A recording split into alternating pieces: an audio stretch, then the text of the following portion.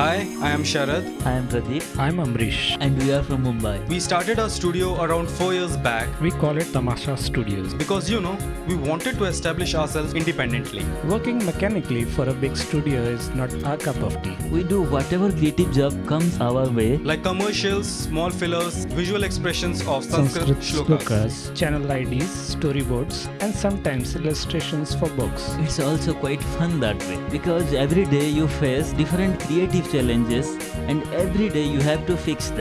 We love to experiment and we believe a good story narrated well can rise above techniques. As you know, Tamasha is a form of performing art which literally means entertainment. We have formed Tamasha because we want to entertain you. Thank you. Thank you. Thank you all. Remember us.